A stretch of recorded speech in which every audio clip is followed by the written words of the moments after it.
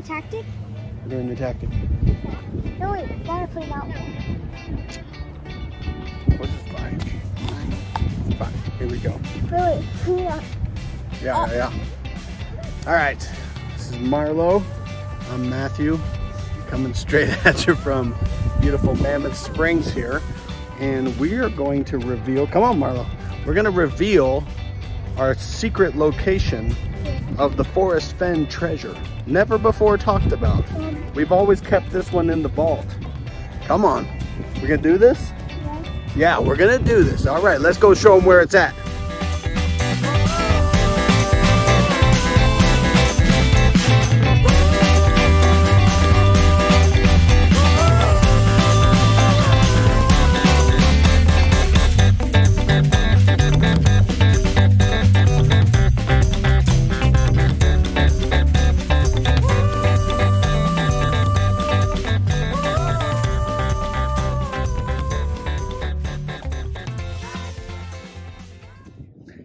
We are, northern entrance of Yellowstone. We're in, uh, and if you look over that away, that town is Gardiner, Montana. So one of the cool things about figuring out a poem like this is that all the clues have to daisy chain together. So my dad uh, had a science project when he was a junior high school kid where he daisy chained a bunch of batteries together with his father to make a plasma cutter.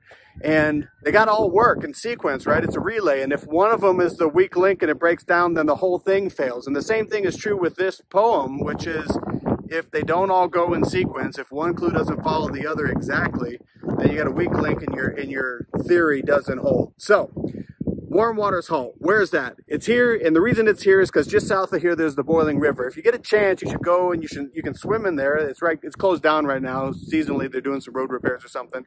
So if you do have a chance, comment, let me know how it went because I'd love to get back there sometime. So the warm waters actually flow northbound, which was tough to find a clue where the north the waters flew flowed to the next place where they halt in a in a location near a canyon. So in this case, the place where the boiling river connects to the Gardner to Gardner uh, in, into the Yellowstone is adjacent to a canyon. So what we're going to do next is kind of take you down to the next clue, the canyon, and show you how it follows up to the Meek and the home of Brown and all that kind of good stuff. Uh, but this, where it all begins. So, all right. All right, begin at where warm waters halt and take it in the canyon down. So we're leaving Gardiner right now, and this is obviously far to get where we're gonna put in at the home of Brown. It's not far, but it's too far to walk, right? So we're driving in. Now, this whole canyon, uh, you can see flanked by the mountains here. There's a there's a portion of the poem where he says that it's no place for the meek. And if I'm remembering my Forrest Fenn history right, because it's been a little while since I was deep, deep down the rabbit hole, but back in the 1980s, there was a cult that moved into town headed by Elizabeth Clare Prophet. And it was a doomsday cult. She predicted the end of the world. There was going to be nuclear fallout. And these people started stockpiling massive amounts of guns. They were bringing in huge uh, bunker material. They spent two years building these massive underground bunkers.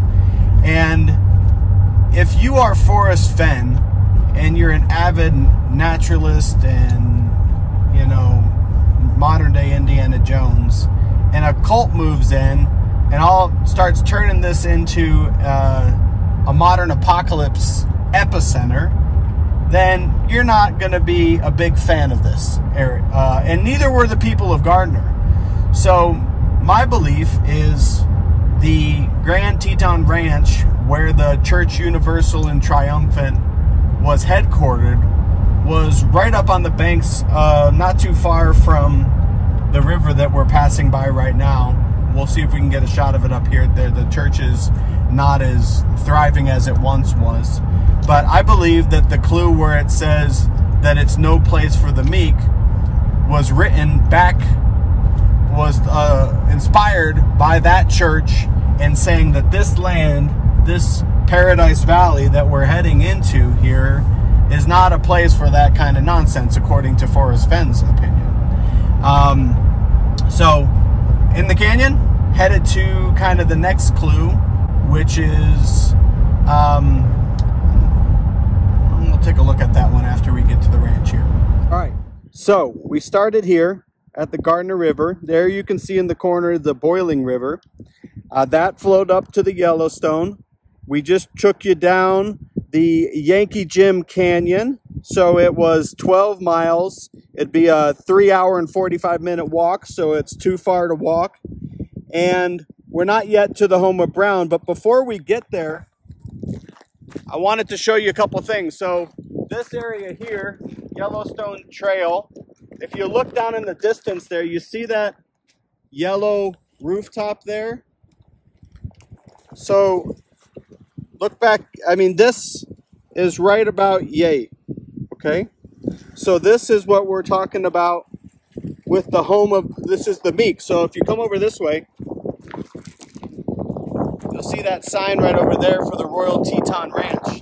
And that was ultimately the spot for the Church Universal and Triumphant. So I believe that there's still a remnant of the followers that are left. Apparently the nuclear fallout didn't happen or it did and we're living in a simulation, I'd have to ask them. I haven't been to one of their services recently. Um, but that location, No Place for the Meek, is like right across the river from the home of Brown.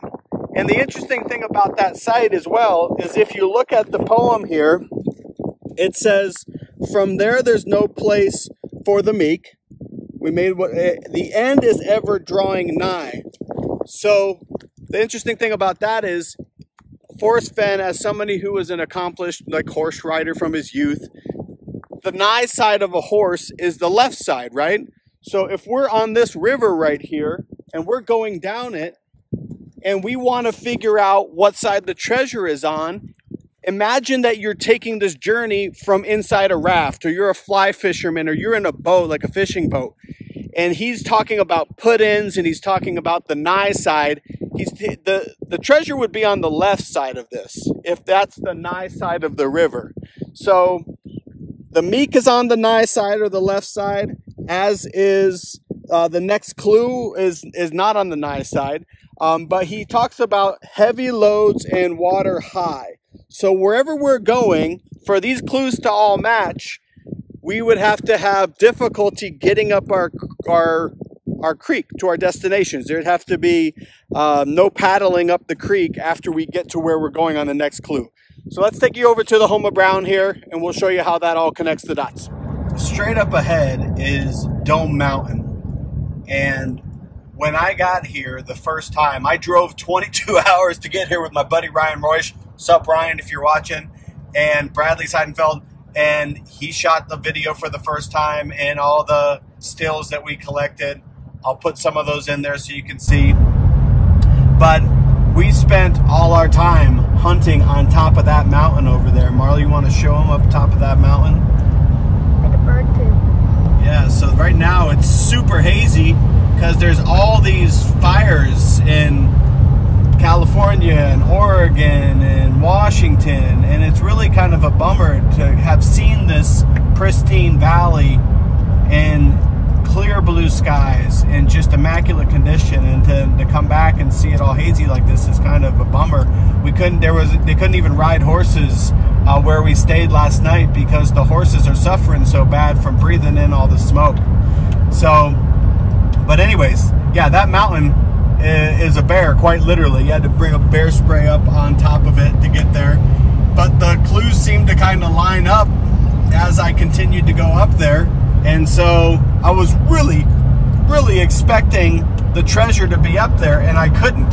And as you all know, who've gone out and hunted for this before, everything's way bigger than on Google Maps. when you actually get out here to try to find this stuff and you're combing through massive areas, and don't even get me into blazes. How many blazes have you all tried? I mean, cairns, Styx crossing, carving FFs into trees, whatever it may be everything looks like a blaze when there's $2 million supposedly uh, underneath it somewhere, right?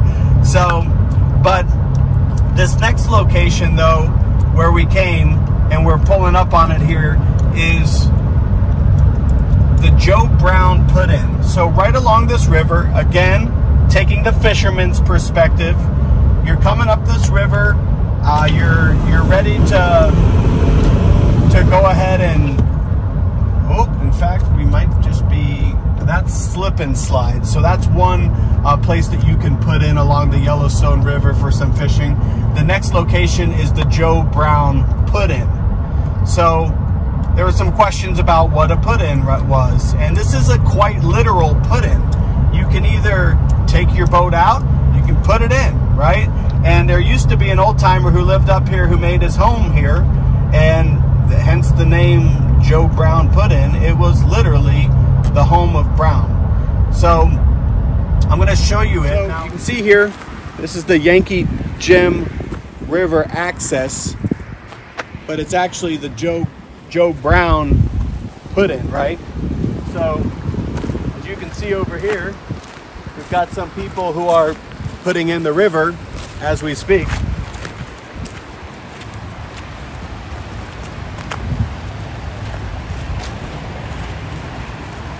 Now I could have sworn there's a clue in here that says, let me see where it says here. Ah, your effort will be worth the the cold, right? So one of my theories was was that you had to be out here when it was cold, when it was the water was lower. You know, the the runoff from the mountains were and the and the river had shrunk because somehow then you would be able to find the blaze. Now I could have sworn, maybe I was wrong. I came back here on a trip and it was sunset. So I it was barely it was lower than this by probably about an, an hour later. Barely any light left. And I came down here and I was looking at these rocks here.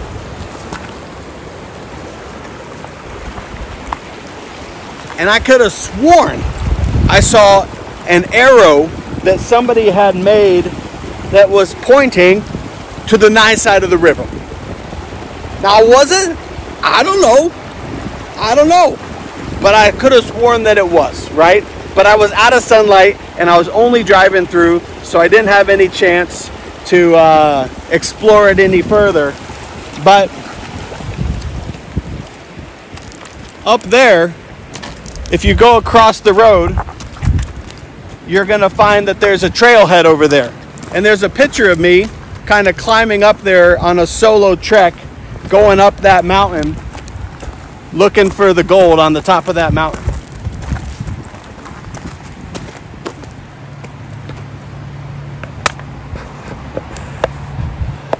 And the interesting thing about that picture is that it's all in black and white, right? Brad, my buddy Brad, did a great job of shooting it, but it's all in black and white. And it's all me solo. Very ominous. You got Paradise Valley over here. You got me kind of solo trekking it up there. And I remember looking at that picture and thinking that it was kind of a metaphor for much of the first half of my life.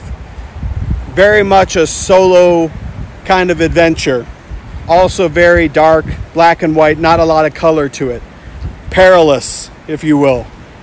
And I remember thinking that even though it was an awesome picture, that the best journeys in life are not the ones that you take by yourself. The best journeys in life are the ones that you take with other people. And that's what brings color to them. That's why they're not black and white. And one of the things that's really been cool about this Forest Venture, uh, Forrest Fenn adventure is that he kind of made me fall in love with Montana. I would never have probably come here if I wasn't searching for the gold. And if I hadn't have ever come here, I probably wouldn't have brought Marlo with me. Watch out for that rock. Um, and that's the real treasure, right? The whole point of this thing is that the treasure is the journey. It's the adventure It's doing it with other people. It's being out and, and appreciating the beauty that's around here. And that's why, even though the treasure has been found, I wanted to come back here again and share it with Marlo. And we have had, yeah, that's right, thumbs up. And we have had an awesome trip. And we're not done. We still got to go up, We're right? We still got to go up and check out some glaciers before they melt which is unfortunate. We've got to do whatever we can to preserve this so that our kids can continue to enjoy it the same way we did. So it's not always covered in smoke, so that the glaciers, you know, are not all gone and the wildlife is not all gone. So I guess that's kind of the takeaway here. Get out there, enjoy it, do your best to preserve it, and uh, thanks for us for the adventure. Even though I didn't get the two million, I got a lot more than that out of it. So cheers to all of you who did it as well. You found the treasure, all right.